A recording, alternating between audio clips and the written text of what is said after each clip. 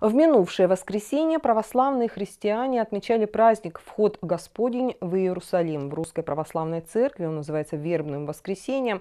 Ветви вербы символизируют пальмовые или финиковые ветви, которыми встречали Христа в Иерусалиме. В храме преподобного Сергия Радонежского традиционно в этот день было многолюдно. В завершении литургии отец Георгий провел чин освящения веток верб, которые будут храниться в домах прихожан до следующего года.